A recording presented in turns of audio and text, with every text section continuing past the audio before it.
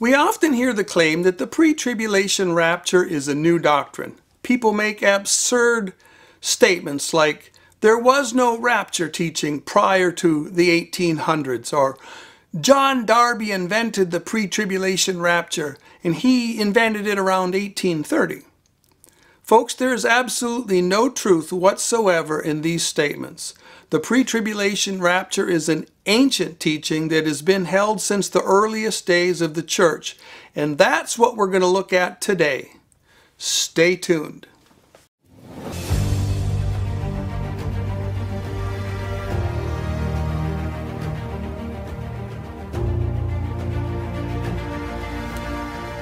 Hi, I'm Lee Brainard. Welcome to Soothkeep and another edition of Prophecy in the Crucible.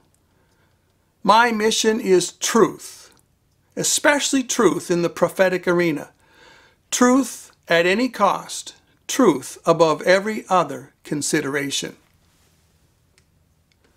Last year, as some of you may recall, I discovered 10 crystal clear pre-tribulation rapture passages in the Greek writings of Ephraim the Syrian. These were rapture passages that were unknown previously to the dispensational world and to those that love prophecy.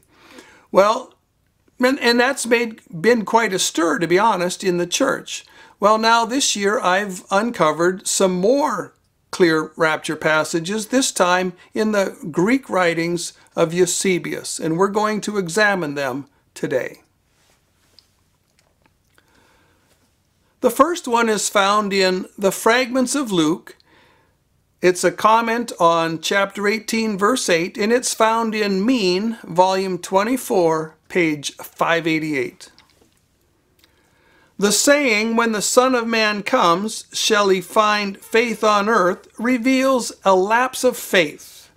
When no faithful man shall be found, or perhaps somewhere a few scarce ones, in the time of his second theophany will be found. For the world shall meet with a great test in the season of apostasy, in which the faithful man will scarcely be found. Suddenly there shall not even be one because some have been taken and the others left behind, delivered to the eagles. In this way there shall be a lapse of faith among mankind. Thereafter he shall take revenge for his saints which have been killed by the ungodly. Now I want you to notice the order here. There's a sudden disappearance of the church. It says some are taken, others are left. And notice that, that this is followed by the lapse of faith. In fact, it says, in this way, the lapse of faith happens.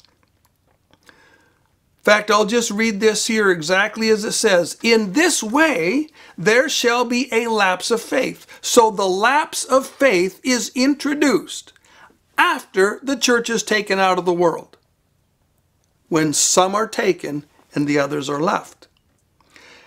And then notice it says, thereafter he shall take revenge for his saints which had been killed by the ungodly. So this is the order. The rapture comes first. There's going to be one taken and uh, some are going to be taken and others are going to be left.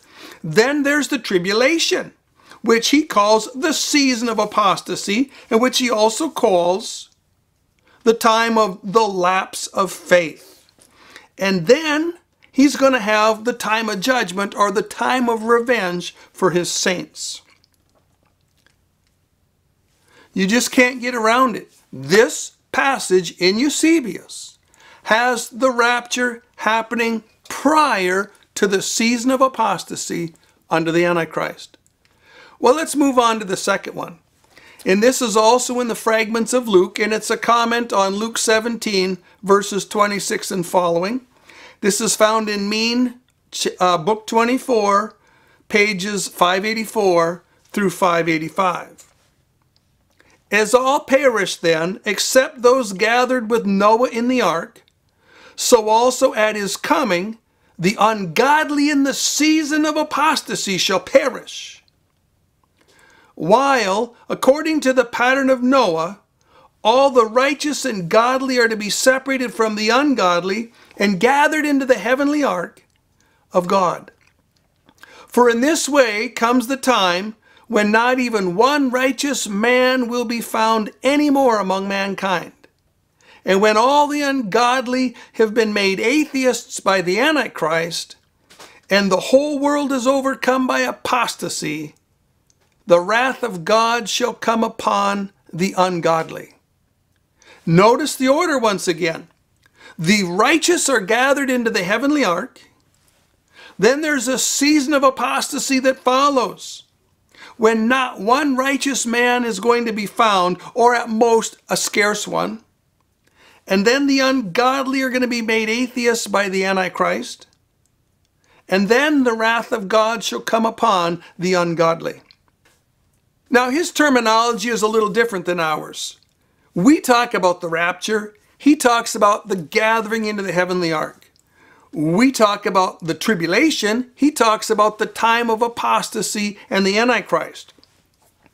We talk about the second coming, and he talks about the wrath of God coming upon the ungodly. Now, there's no way around it. This is making a distinction between the rapture and the second coming. And sandwiched between the rapture and the second coming is the time of apostasy and the Antichrist. Now, the third passage is found in the fragments of Eusebius and Daniel, fragment Epsilon, which is in Migne, volume 24, page 528. The Apostle Paul was moved to write in this manner on the second coming of Christ. For the Lord himself shall descend from heaven with the command, with the call of the archangel, and with the trumpet of God, and so forth. But the same apostle also set forth in order in his prophetic writings the end times coming of Antichrist and his depravity, and after this, the glorious appearing of our Savior. Now notice the order.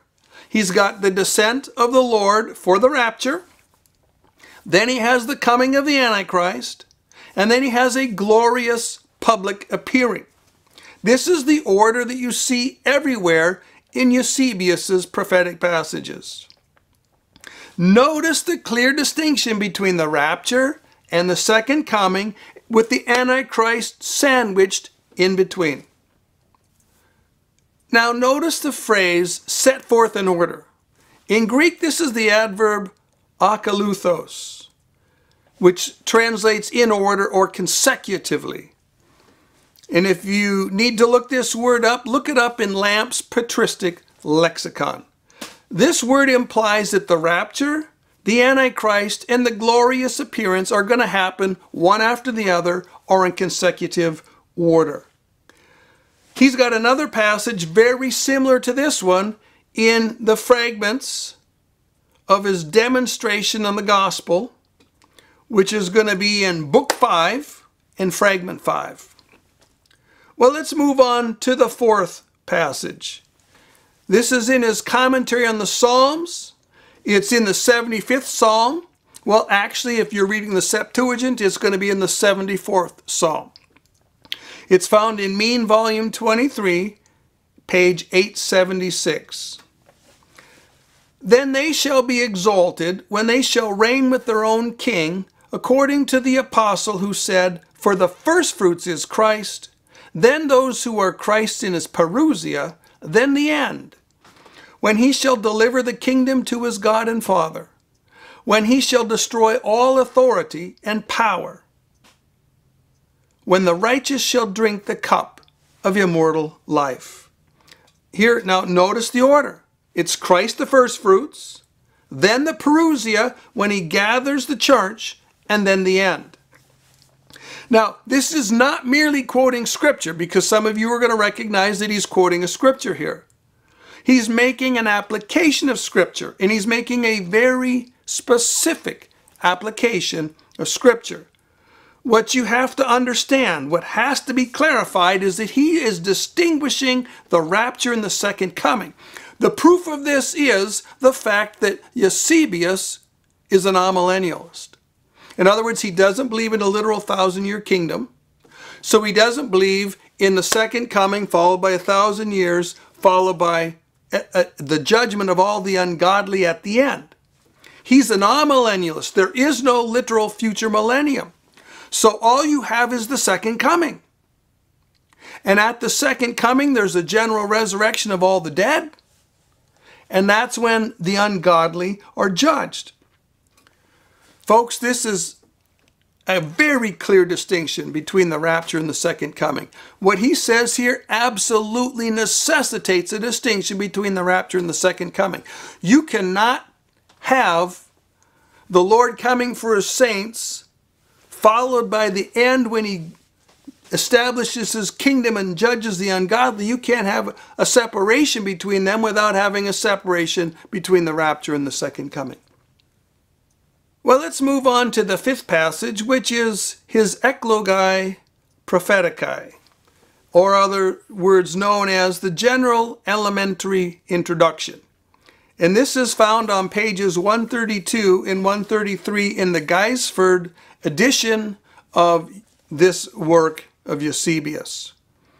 The passage says, When he has finished his spiritual temple of rational and soulish stones, that is the church, the Lord himself shall come, even the word of God, and with him the angel of the covenant to the manifested temple.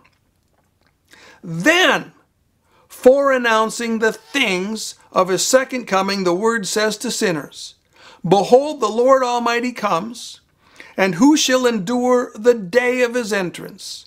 Who shall stand at his appearance? Now, notice the order. First, the Lord comes to his completed temple. And then, then, in other words, after that, the Lord foreannounces his second coming. If you're foreannouncing something, it hasn't happened yet. It's still in the future. So here we have the rapture, and then he foreannounces the yet future second coming. Folks, this is a crystal clear distinction between the rapture and the second coming. There's no way around it. Well, let's move on to the sixth passage. And this is found in Eusebius's commentary on Isaiah in Book 2 in section 24. Many sons born by God I shall gather into my heavenly city, taking them up flying them through the air, lofted like birds on the, on the winds. I am talking about angelic powers. Some of them I shall gather to myself from the north, others from Africa, or as some say, from the south. Notice, this can't be the second coming. It's impossible for this to be a reference to the second coming. Any rapture where you go up to the clouds at the second coming is going to involve those saints coming immediately back down to earth. This here has the saints going not just to the clouds and staying there, this has them going all the way to the heavenly Jerusalem. And they're going to stay there. Folks, this is a rapture that precedes the second coming. And this is the exact same spirit that we see in John chapter 14, verses 1 through 3. And we know from the passages that we just looked at, the preceding passages, we know that this rapture to the New Jerusalem precedes the time of tribulation under the Antichrist. It precedes the time of apostasy under the Antichrist. And it even more precedes the second coming. Well, let's look at the seventh and final passage. This is also found in the commentary in Isaiah it's in Book 2 and it's in section 58. In the season of the end, God shall bring them, that is the church, to the city of God, even the heavenly Jerusalem, and prosper them with this supreme boon or supreme blessing, when he shall take them up like he did with Elijah, carrying them upon angelic chariots, bathing them in heavenly light. Notice once again, just like the previous passage, this is in the same spirit as John chapter 4, verses 1 through 3. This can't be the second coming because the, the church doesn't stay down here on earth. This can't be the second coming because The church doesn't go up to the clouds and come immediately back down. This has to be a rapture that precedes the second coming because the saints are going, the church is going to heaven to stay there. So, in conclusion, we've looked at seven clear pre-tribulation rapture passages in Eusebius. And I'm very glad that the Lord has enabled me to present these to the prophecy-loving public, and may God use them for his glory. Now, gainsayers are going to look at these passages and they're going to come up with any kind of empty straw to pretend that these are not pre-tribulation rapture passages. And they're going to deny that Eusebius said what he said and meant what he appears to mean. But for those who love the truth for its own sake, and they're not going to come to these passages with a hardcore doctrinal bone to pick or a hardcore hobby horse to ride, they're going to be forced to conclude, wow, he really did make a distinction between the rapture and the second coming, and he's got the tribulation uh, sandwiched between the two, just like modern dispensationalists. And the only difference is we've got a, a very consistent terminology we use, and he uses uh, a broader set of terminology. Folks, we have one more proof here that the pre-tribulation rapture is not a recent invention. We've, we've presented seven crystal clear passages which prove that Eusebius taught a pre-tribulation rapture in the late 3rd and early 4th centuries. This is, you can't escape this. This is as clear as the noonday sun. Well, this brings us to the end of our presentation today. May God bless this. May He use it mightily in the defense of the pre-tribulation rapture. Eyes wide open, brain engaged, heart on fire. See you next time.